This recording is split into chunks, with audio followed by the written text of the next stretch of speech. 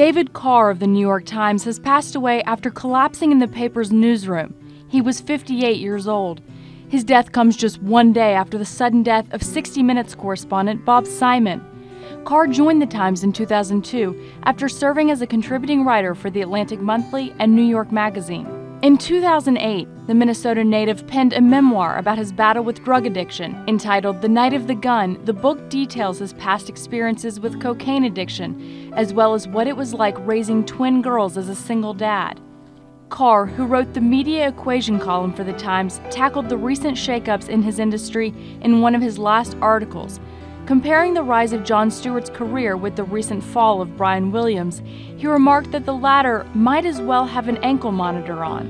In fact, he took to the air two days before his death, appearing on CBS this morning to express his support of NBC's temporary removal of Williams. I mean, I think the tragedy here is he was the number one anchor in the nation. Um, everybody loved his work, um, but he uh, somehow that wasn't enough he had to go and do all these other things. Colleagues took to Twitter to express their condolences. Comedian and TV host Seth Meyers tweeted, Of all the cats, David Carr was the coolest.